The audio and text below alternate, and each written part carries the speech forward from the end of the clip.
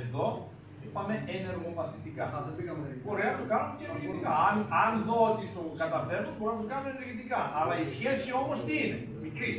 Βάζω τους παίκτες σταδιακά, κάθε βήμα δηλαδή προσθέτω και ένα παίκτη. Μέχρι που να πάω στο τελικό παιχνίδι. Και το τελευταίο τι είπαμε. Πλάγια και άξιο. Δεξιά αριστερά, δηλαδή η επανάληψη προς τα από δεξιά, μια συνεργασία δηλαδή μια πλευρά, μια συνεργασία την άλλη, μια πλευρά. Είμαι ο Ιορδανίδης ο Μιχάλης, εκπαιδευτής σχολών προπονητών της Ελληνικής Ποδοσφαιρικής Ομοσπονδίας. Ξεκινήσαμε σήμερα την προσπάθεια της δεύτερης εβδομάδα ε, όσον αφορά τους υποψήφιους προπονητές ε, UFAC. Σίγουρα είναι μια δύσκολη εβδομάδα γιατί σε αυτή τη εβδομάδα θα εξεταστούν οι υποψήφιοι προπονητές και στην πρακτική αξιολόγηση και στη θεωρητική αξιολόγηση. Ευελπιστούμε ότι μέσα από αυτή τη διαδικασία και το ποδόσφαιρο των, ε, της και γενικότερα των Ευσγρεβενών θα αναβαθμιστεί.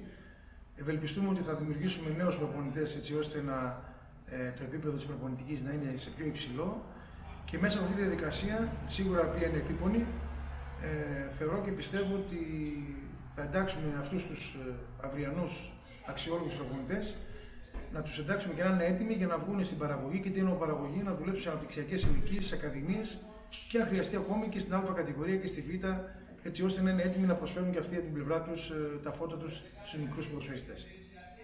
Χρόνια πολλά, καλή χρονιά. Είμαστε σε εγκαταστάσεις της Ένωσης Ποδοσφαιρικών Σωματείων Γραβενών, όπου συνεχίζεται η δεύτερη φάση του ΕΦΑΣΕ, του προπονητικού διπλώματος, ε, που περιλαμβάνει κυρίως πρακτική άσκηση με τρεις ε, εκπαιδευτές ε, σε αυτή τη φάση ε, θα πρωί-απόγευμα και θα δοθεί η δυνατότητα σε πολλά παιδιά της περιοχής να αποκτήσουν ένα προπονητικό δίπλωμα εγκεκριμένο από την ΕΠΟ και από την ΟΕΦΑ και βεβαίως το επόμενο διάστημα μέσα στο καλοκαίρι πιστεύω τον Ιούλιο θα προγραμματίσουμε και σχολή ΟΕΦΑ B έτσι ώστε να δοθεί η δυνατότητα στα παιδιά της περιοχής μας που έχουν τη διάθεση και την όρεξη να ασχοληθούν με την προπονητική αλλά και στη Δυτική Μακεδονία γενικότερα να προχωρήσουν στο επόμενο στάδιο, στο επόμενο βήμα.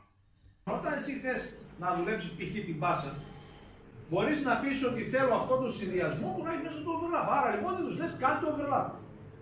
Αν είσαι σε παιδιά που δεν έχουν κάνει overlap, τους το δείχνεις.